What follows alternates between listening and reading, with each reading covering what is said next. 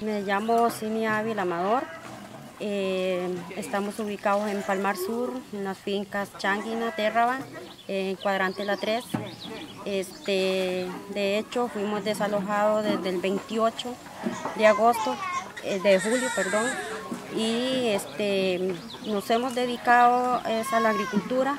Eh, mis padres, mis abuelos, mis antepasados son agricultores.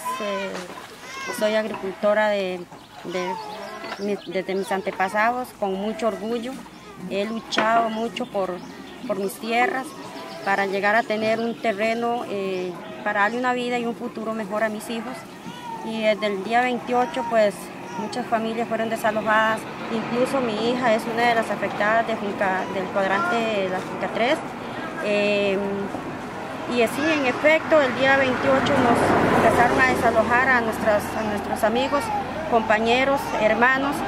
Eh, incluso nunca nos llegó ninguna notificación de desalojo. El, desalojo se dio así como por arte de magia.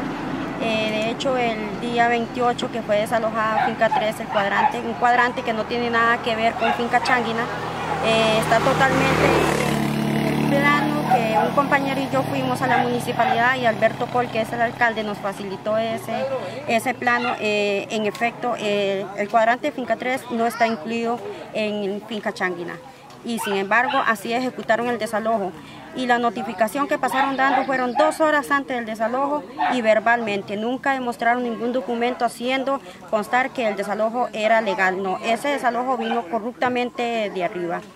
Y al señor presidente eh, como lo he dicho muchas veces en mis declaraciones, eh, pues después de que anduvo aquí necesitado buscando los votos de los campesinos, ahora nos da la puñalada por la espalda. Eh, muchas gracias, señor presidente, por tenernos viviendo en la calle. Eso no se vale, pero en fin, este ya, y como usted la verdad que se dedica a la corrupción, no es extraño de que esto nos estuviera pasando. Los campesinos que te dieron el voto, que tanto te sirvieron, porque hoy por hoy estás donde estás por, por muchos campesinos que desgraciadamente te dieron el voto. Pero en fin, no sabíamos lo que nos iba a pasar. Eh, nuestros niños, nuestras mujeres embarazadas, hoy por hoy las tienes en la calle. Gracias, señor presidente, por ser tan corrupto. No nos merecemos. Nosotros como familia costarricenses, como eh, este, sinceramente, se dice ser un país, no el de la paz, pero ya vemos que no, eso no se practica, empezando por usted, señor presidente. Además, eh, los campesinos mm, ah, no nos merecemos migajas, porque últimamente después de que nos pasaron por encima a todo lo nuestro, este, ahora nos vienen ofreciendo de parte de Limas un subsidio de seis meses. Y después de seis meses, ¿qué, señor presidente? En las rondas de la calle otra vez, no, definitivamente no nos merecemos migajas. Es más, no somos hormigas, señor presidente, yo creo que somos costarricenses y somos campesinos que nos merecemos vivir felices en nuestras tierras. Pero como usted está al lado de un terrateniente, legalmente ya ahí, ahí va la, la, ruina y la destrucción para nosotros como campesinos. Y yo creo que nosotros necesitamos ser felices, pero con el presidente que tenemos hoy día no lo podemos lograr.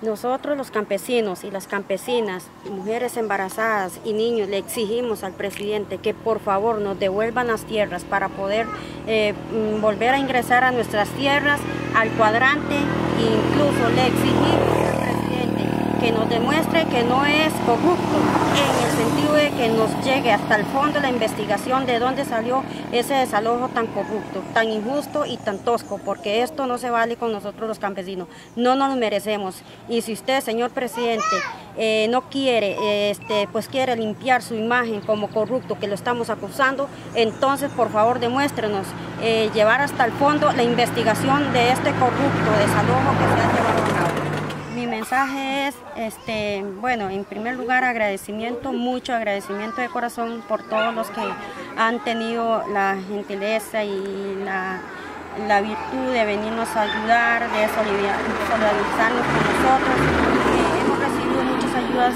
de instituciones, eh, gracias a Dios porque el pueblo está con nosotros, de hecho ellos ven las injusticias que han estado haciendo. Y y sí, esperamos que nos sigan ayudando para salir adelante, porque sin la ayuda de ustedes no lo podemos lograr. Todos unidos no lograremos el objetivo y no nos podrán vencer. Radio Temblor, medio alternativo del colectivo Voces Ecológicas.